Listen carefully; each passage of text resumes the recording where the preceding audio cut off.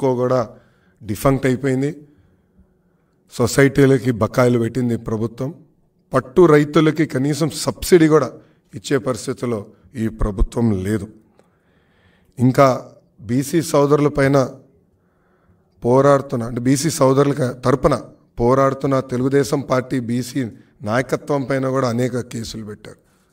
వేదికమైన పెద్దలందరిపైన కూడా కేసులు పెట్టారు.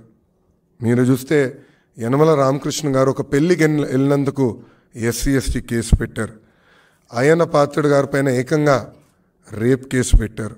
ఇంకా కొల్లు రవీంద్ర గారిని అచ్చెన్నాయుడు గారిని కూడా ఎలా ఇబ్బంది పెట్టారో ఆంధ్ర రాష్ట్ర ప్రజలు ప్రత్యేకంగా మా బీసీ సోదరులందరూ చూశారు. ఒక మాటలో చెప్పాలంటే బీసీ సోదరుల ద్రోహి ఈ జగన్. అమర్నాథ్ గౌడ్ అన్న కుర్రోడు. కేవలం వాళ్ళ అక్కని వైకాపా నాయకుల పిల్లలు ఏడిపిస్తున్నారని ఊరు పెద్దలకి వెళ్ళి చెప్పాడు. అది తెలుసుకున్న తర్వాత అమర్నాథ్ గౌడ్ చదువుకుంటున్న పుస్తకాల నుంచి కాగితాలు చింపి అతని నోట్లో కుక్కేసి బతుకుండగా కాలు చేతులు కట్టి పెట్రోల్ పోసి తగలబెట్టి చంపేసింది ఈ ప్రభుత్వం. ఆ కుటుంబాన్ని కనీసం పరామర్శించడానికి ఈ ప్రభుత్వానికి మనసు రాలి. ముఖ్యమంత్రి గారు వెళ్ళలేదు అక్కడికి. ఇప్పుడు పరిస్థితి ఎలా ఉందంటే ఆ హత్య చేసిన అబ్బాయి ఈరోజు బయట తిరుగుతున్నాడు ఆ కుటుంబాన్ని వేధిస్తున్నాడు. ఆ అబ్బాయికి బెయిల్ వచ్చిన తర్వాత ఊరిలోకి వెళ్తే ఊరేగింపులో వైకాపా నాయకులు అతని ఇంటికి తీసుకెళ్ళారు. ఇది ఒక ఉదాహరణ. ఇలా అనేక ఘటనలు రాష్ట్ర వ్యాప్తంగా బీసీ సోదరులపైన జరిగినాయి. ప్రొద్దుటూరులో మనందరం చూసాం. తెలుగుదేశం పార్టీ పద్మశాలి నాయకుడు నందం సుబ్బయ్య. అతను అక్కడున్న ఎమ్మెల్యే వ్యతిరేకంగా పోరాడినందుకు పిలిచి మరి పొద్దున పూట నరికి చంపేశారు. అసలు ఎలాంటి వాతావరణం సృష్టించారంటే ఆ శవాన్ని చూసేదానికి మనుషులు లేదని భయపడ్డారు. కేవలం భార్య అప్రజిత నిలబడింది కనుకనే ఆ కుటుంబం ఈరోజు న్యాయ పోరాటం చేయగలుగుతుంది. ఇలా అనేక ఘటనలు ఆంధ్ర రాష్ట్రంలో జరిగినాయి. ఎక్కడ కానీ ఈ ప్రభుత్వం స్పందించలేదు.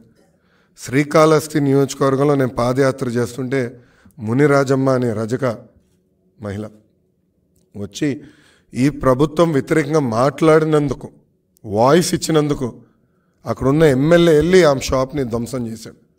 చివరికి అతని కాలు పట్టుకుంటే తప్ప నిన్ను నేను క్షమించానని చెప్పే పరిస్థితికి వచ్చాను అంటే ఎంత అహంకారంగా ఏకపక్షంగా ఈ ప్రభుత్వం ప్రవర్తిస్తుందో ఎన్ని ఉదాహరణలు. కళ్ళు గీత కార్మికుల్ని గాలికి వదిలేశారు. గొర్రెలు మేకలు పెంపే మా బీసీ సోదరులకి ఎలాంటి సబ్సిడీలు రావట్లేదు. ఇంకా స్వర్ణకారులు కూడా పడుతున్న ఇబ్బందులు నేను స్వయంగా పాదయాత్రలో తెలుసుకుంటాం జరిగింది.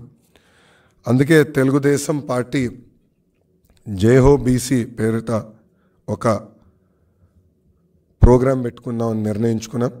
అది ప్రధానంగా జనవరి నాలుగో తారీఖు నాడు లాంచ్ చేస్తాం. మా జాతీయ అధ్యక్షుల వారు శ్రీ నారా చంద్రబాబు నాయుడు గారి నాయకత్వంలో ఇక్కడ ఒక వర్క్షాప్ ఏర్పాటు చేసుకుని ఇక్కడ నుంచి ఫస్ట్ ఫేజ్ అన్ని పార్లమెంట్లు నియోజకవర్గాలు మండలాల వరకు వెళ్ళి మా బీసీ సోదరులకు చైతన్యం తీసుకొచ్చి అదేవిధంగా ఈ ప్రభుత్వం వల్ల వాళ్ళు ఎదుర్కొంటున్న కష్టాలు ఏంటని తెలుసుకుని అది మళ్ళీ పార్టీకి తెలియజేసే విధానం ఏర్పాటు చేసుకుంటాం.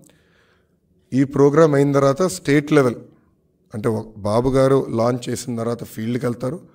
ఫీల్డ్ ప్రోగ్రాం పూర్తయిన తర్వాత స్టేట్ లెవెల్ ఒక సభ పెట్టుకొని బీసీ సోదరులకి ఒక ప్రత్యేకంగా మేనిఫెస్టో కూడా విడుదల చేయాలని తెలుగుదేశం పార్టీ నిర్ణయించింది.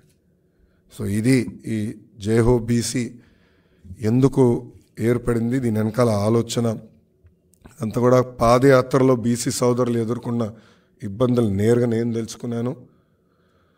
నేను కలిసిన వాళ్ళే కాదు నేను తిరగని మండలాల్లో కూడా బీసీ సోదరుల్లో కలవాలి పార్టీ. వాళ్ళ దగ్గర నుంచి వాళ్ళ సమస్యలు తెలుసుకోవాలి.